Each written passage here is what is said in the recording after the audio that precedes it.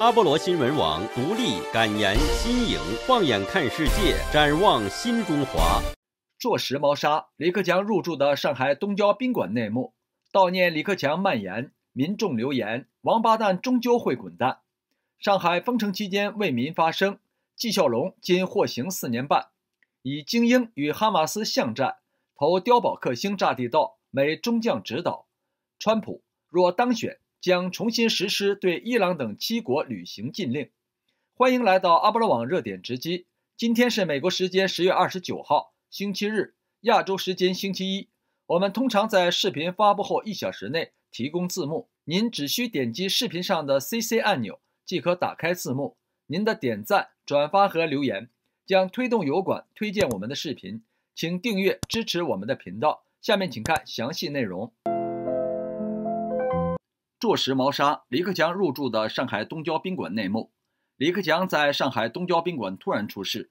目前官网之前即日起至十一月七日暂停营业的通知已被删除，但大纪元记者发现，预订房间只能从十一月八日开始。记者又致电该宾馆的游泳馆，也被告知至十一月七日为止，因为整修无法营业。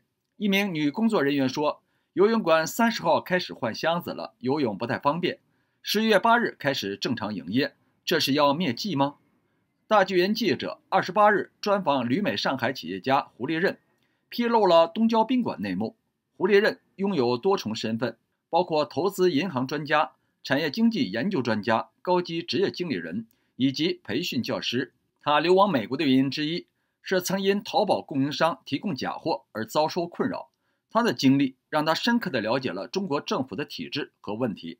东郊宾馆是上海市政府的接待中心，曾经也是江泽民的养老处，相当于中央在上海的钓鱼台国宾馆。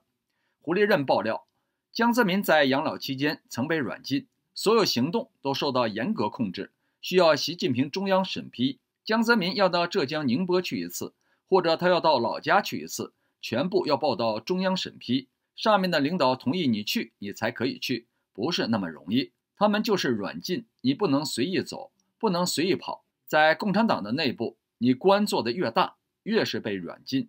这些消息都是当时负责江泽民安保工作的张姓朋友告诉他的。朋友当年也是上海市政府保卫处的负责人之一。胡立任认为李克强也可能是被软禁，怀疑他可能中毒身亡。东郊宾馆，上海保卫处的人连门都进不去，全部被北京警卫局接管。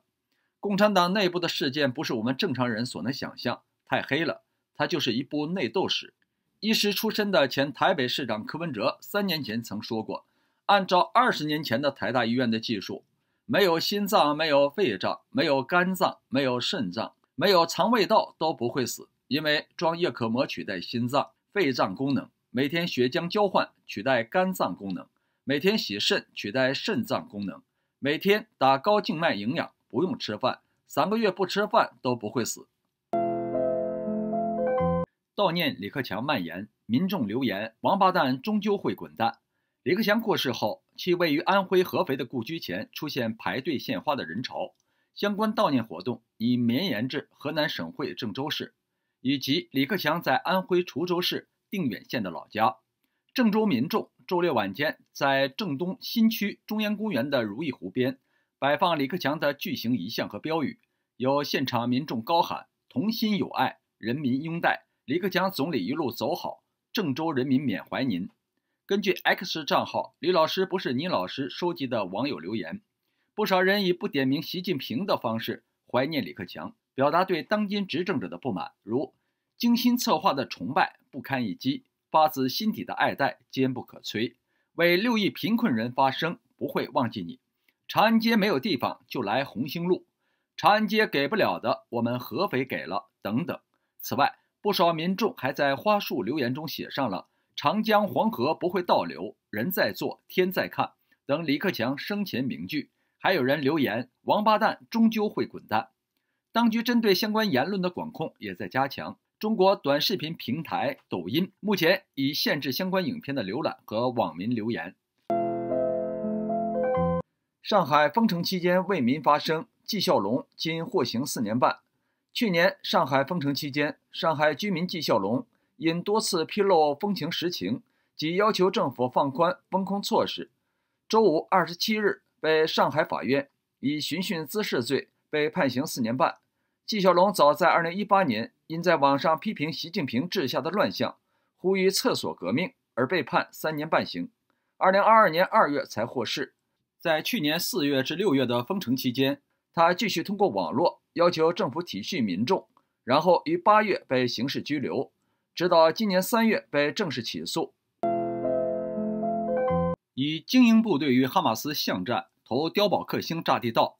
英国《金融时报》二十九日报道，以色列军队已控制加萨走廊北部大片地区。耶路撒冷邮报则指出，有网络视频显示，以色列军人在加萨升起国旗，为2005年以色列撤出加萨后首见。有报道指出，以色列空军投掷碉堡克星钻地弹，摧毁哈马斯的地道网。钻地弹的第一枚弹头会炸出一个洞，第二枚弹头穿入地下，摧毁地下防御工事。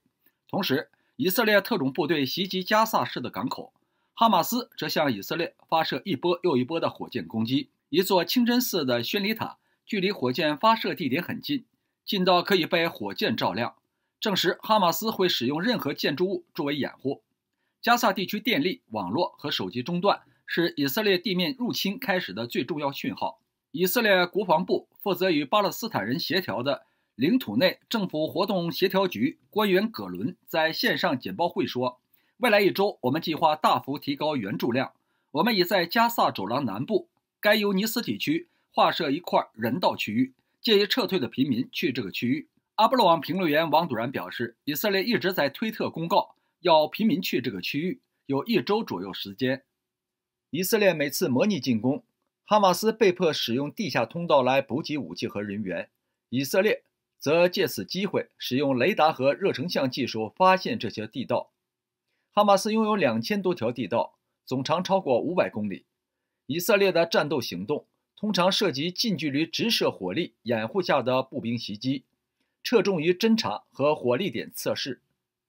美国军事顾问格林中将提议以色列将加沙划分为小块，使用装甲推土机铲平哈马斯藏匿地点，并通过雷达。来发现并封堵通道入口，他们还采用海绵炸弹等手段将哈马斯从地道中赶出或关闭通道。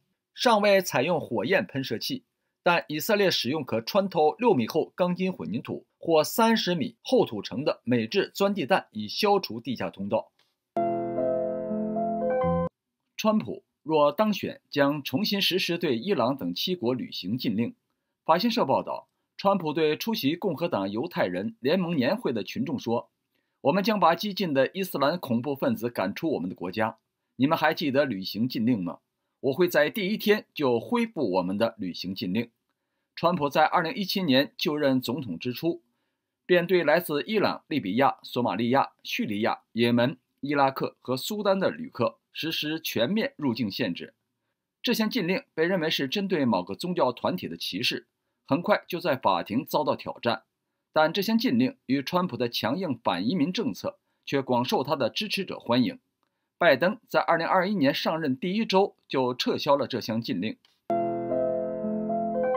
阿波罗网副频道视频今日内容是：中共乱套了，竟然没抗议。北京香山论坛缺房长，两中央军委副主席见外宾。李克强有勇死可能性不大，加萨人没得吃，哈马斯隧道囤满物资，可再战四个月。阿波罗网报道，以色列进入加萨最新消息，请点击右上角观看。